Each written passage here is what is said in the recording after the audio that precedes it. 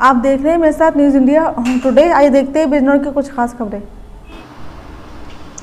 बता दें कि आगामी त्योहारों को देखते हुए शांति व्यवस्था बनाए रखने व जनता और पुलिस के बीच अच्छे संबंध स्थापित करने के लिए धर्म सिंह मार्शल, अपर पुलिस अधीक्षक, पूर्वी द्वारा में पुलिस फोर्स के साथ नेटोर नगर में पैदल फ्लैग मार्च निकाला गया। पूर्वी धर्म सिंह मार्शल ने बताया कि इस फ्लैग मार्च का उद्देश्य जनता और पुलिस के बीच की दूरी कम करने व अपराधियों में भय पैदा करना है, ताकि क्षेत्र में कानून व शांति व्यवस्था बनी रहे। उन्होंने कहा कि पुलिस जनता की हर समस्याओं के लिए हर समय तत्पर है। किसी भी बेकसूर का कहीं भी उत्पीड़न नहीं होने दिया जाएगा। देखिए हमारी एक खास रिपोर्ट।